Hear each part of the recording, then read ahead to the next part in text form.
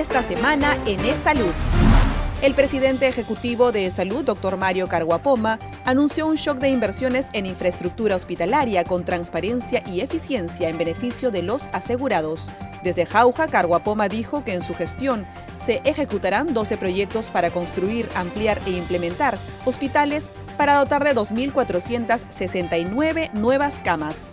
El titular del Seguro Social viajó a la región Junín para supervisar los avances en construcción del Hospital Bicentenario de Jauja en beneficio de más de 74.700 asegurados adscritos a la red asistencial Junín, uno de los tres hospitales modulares que proyectan inaugurar. Los hospitales de la red Rebagliati de Salud implementaron el parto vertical, una técnica que disminuye el dolor del parto en gestantes y reduce el riesgo de mortalidad materno-infantil.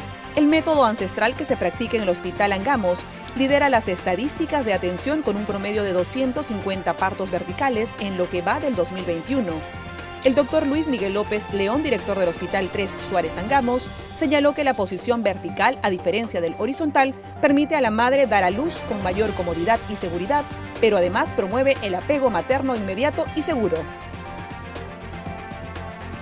Para fortalecer la estrategia en la emergencia, el presidente ejecutivo de Salud, Mario Carguapoma, supervisó el proceso de inoculación en el vacunatorio Fortaleza Real Felipe del Callao, que es actualmente el de mayor afluencia y donde hasta la fecha ya se inmunizó a 165 mil peruanos de la región Callao. Durante su recorrido destacó la incorporación del ex procurador Amado Enco a la nueva gestión para detectar oportunamente y actuar con celeridad ante un primer indicio de corrupción. El jefe del Departamento de Geriatría del Hospital Nacional Almanzora Guinaga Senjo del Seguro Social en Lambayeque venció el cuadro grave del COVID-19 y una vez reinsertado en sus labores, lo primero que hizo fue cantarle a sus pacientes.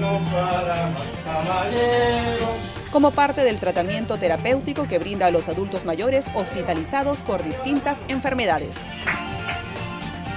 La musicoterapia puede llegar a reducir el nivel del dolor Incluso contribuye a regular los signos vitales, favoreciendo el estado anímico de los pacientes para una pronta recuperación.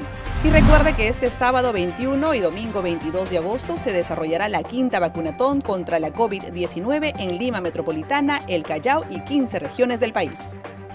En Salud, seguimos trabajando para brindarte la atención que mereces.